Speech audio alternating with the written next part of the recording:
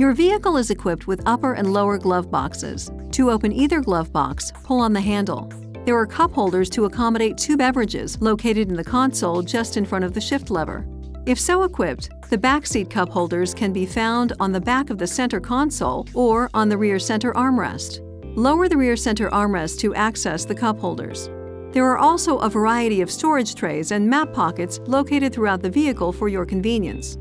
Your vehicle may be equipped with the Divide-N-Hide adjustable floor, which can be raised or lowered to efficiently utilize the space in the rear cargo area.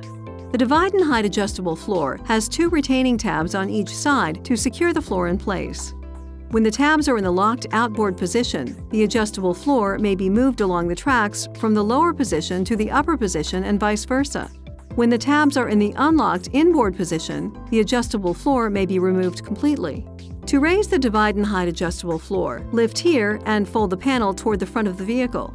Raise the load floor slightly and then slide it toward the rear of the vehicle until it reaches the end of the channel. Next, lower the load floor slightly and then slide it toward the front of the vehicle until it reaches the end of the channel.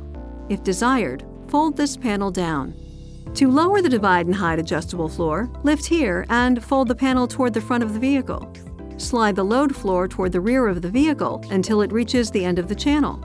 Next, raise the load floor slightly and then slide it toward the front of the vehicle until it reaches the end of the channel. Fold this panel flat after lowering the load floor. The Divide-N-Hide adjustable floor can support up to 110 pounds of cargo.